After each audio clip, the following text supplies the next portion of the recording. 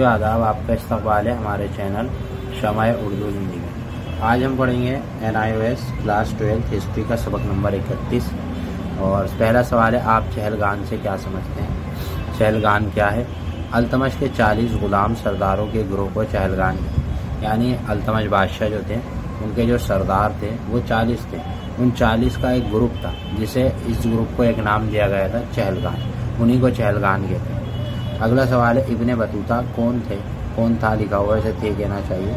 उनका सफ़रनामा किस नाम से मशहूर? इब्ने बतूता एक मुसलमान मुसाफिर थे और अगर मैं आसान अल्फाज में कहूँ तो एक वली आदमी थे। उन्होंने कई साल, सालों में कई ममालिक का सफ़र किया। यानी आप ये कह सकते हैं, इब्ने बतूता उस दौर में पूरी दुनिया के मुसाफिर बने, पूरी दुनिया में सफ़र किया उन्होंने कई सालों में कई ममालिक का सफ़र उन्होंने अपने सफ़र की तफसीलात, किताब और रहता में दी।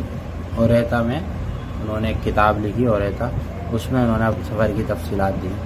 इबन बतूता का सफ़रनामा भी कह सकते हैं। तो बहुत ही अच्छा इसमें सफ़रनामा है, आप कभी वक्त मिले तो उसे पढ़िएगा, लेकिन बहुत ही फ़ायदेमंद है।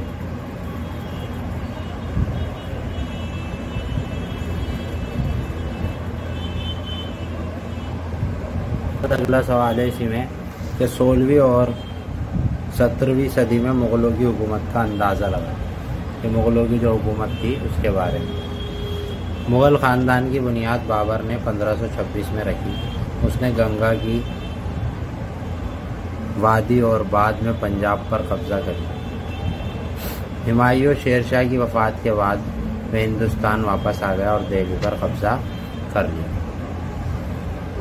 उसकी मौत के बाद उसका तेरह साल बेटा अकबर तख्त पर जानशीन हुआ।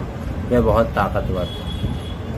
उसके मुहाफिज बहराम खां की रहनुमाई में उसने लाहौर दिल्ली आगरा, जयपुर जैसे फौजी किलों वाले इलाकों को फतेह किया और 26 फरवरी 1905 तक हुकूमत की। उसके बाद उसके बेटे ने जहांगीर से लेकर पोते, औरंगज़ेब तक का तख्त नशीन मतलब ये बेटे के बाद बेटे बैठते चलेगा और सभी बहादुरी के साथ जो है हुकूमत करते चले अगला सवाल है कि अलाउद्दीन खिलजी की माशी असलाहत बयान मतलब जो उन्होंने बिज़नेस से रिलेटेड असलाहत की थी, उसके बारे में आपको यहाँ बताना तो अलाउद्दीन खिलजी की इकतदी असलाहत अशिया ज़रूरी की कीमत मुकर करना, अलाउद्दीन ने तमाम ज़रूरी अशिया की कीमतें मुकर करके रखी।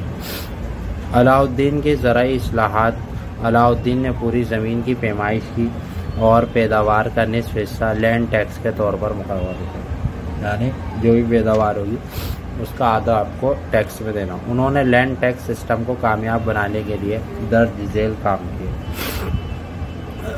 रीन्यू एहलकार को रिश्वत और बंदवानी से बचाने के लिए उनकी तनख्वाहों में इजाफा। जब उनकी तनख्वाह अच्छी कर दी, ताकि वो लोग रिश्वत ना लें। किसानों से बकाया ज़मीनी टैक्स वसूल करने के लिए मुस्तराज का काम किया, यानी तैनात अफसर अफसर तैनात कर दिए, उनकी जगह अफसर तैनात कर दिए और इस तरह से ये पूरा काम निपटा। अगला सवाल है, किसान ज़मीनी टैक्स, नकद या पैदावार की सूरत में अदा करते थे या तो वो नकद देते थे या जो उनके पास पैदा करदा चीज़ होती थी, वो उसके बदले नकद, पैसे की जगह वो दे दिया करते आखिरी सवाल है इसका, मोहम्मद बिन तुगलक के दौर में सुल्तान का अरूज सल्तनत का अरूज और जवाल का आगाज़, दोनों बयान कर मतलब सल्तनत का अरूज कैसे हुआ और जवाल कैसे हुआ? तो गयासुद्दीन तुगलक की मौत के बाद, जूना खान 1325 में मोहम्मद बिन तुगलक के नाम से दिल्ली का सुल्तान बना। जूना खान जो था, वो मोहम्मद बिन तुगलक था। मोहम्मद बिन तुगलक दिल्ली के पहले सुल्तान थे जिन्होंने मेरठ की बुनियाद पर अहदे अहद दुनिया शुरू किए अहदे देना शुरू किए ठीक है मेरिट की बुनियाद मतलब काबिलियत की। मोहम्मद बिन तुगलक अपने मुतनाज़ फ़ैसलों की वजह से मशहूर हुए। मोहम्मद बिन तुगलक ने दारकूमत दिल्ली से दौलताबाद दीवगेरी मुंतकिल कर दी। यानी जो कैपिटल थी, जो उसको, जो राजधानी थी, उसको कहाँ? दौलताबाद, देवगेरी में। सोने और चांदी के सिक्कों की जगह तांबे और पीतल के सिक्के इस्तेमाल किए गए, जो उस वक्त के हालात में मुकम्मल तौर पर नाकाम हो गए। ठीक है पहले सोने।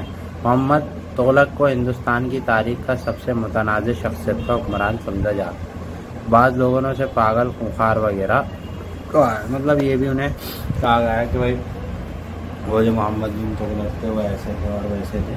कई तरह की बातें उनके लिए कही तो ये था हमारा सबक नंबर इकतीस। अब इसमें दो ही सबक बचे हैं, बत्तीस और तैंतीस के अंदर जो है वो मैप है।